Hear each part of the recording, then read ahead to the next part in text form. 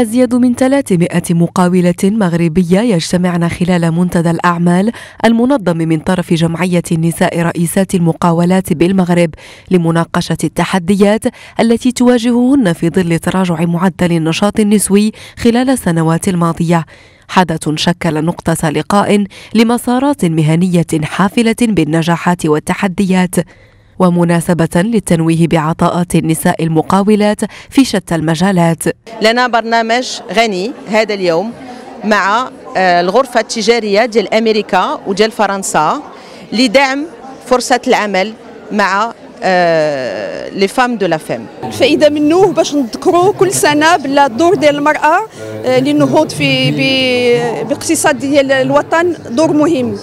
ونعطيو الفرصة للمرأة كذلك باش تكون آه، آه، باش تكون عامل فعال في الاقتصاد ديال ديال البلاد. منتدى نسائي تطمح من خلاله الجمعية إلى تشجيع النساء على خوض غمار ريادة الأعمال وتعزيز حس الابتكار والإبداع لديهن وحثهن على الانخراط في ريادة الأعمال المستدامة لضمان استمرارية مقاولاتهن وتطوير أعمالهن نحو الأفضل.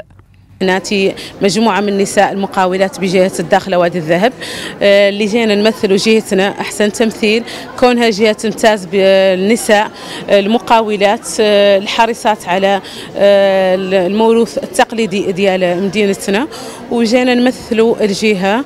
كوننا نبغوا ياسر من الامتيازات اللي تخص بها المدن الثانية. تعود توصلنا إحنا للجنوب ونعود إن شاء الله ونمثل دائما المرأة في أحسن صفاتها. خصنا نغتنموا الفرصة ديال يعني ديال النموذج التنموي الجديد اللي كيطمح على أن يعني نسبة النشاط المهني عند المرأة تدوز من 20 ل 45% في أفق 2035 والحكومة التزمت أننا نوصلوا ل 35% في أفق الخمس سنوات المقبلة.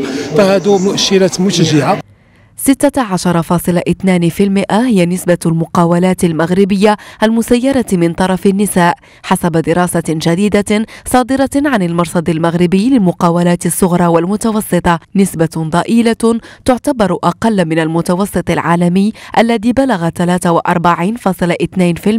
سنة 2019 معطيات تحتم إعادة النظر في مكانة المرأة داخل النسيج الاقتصادي.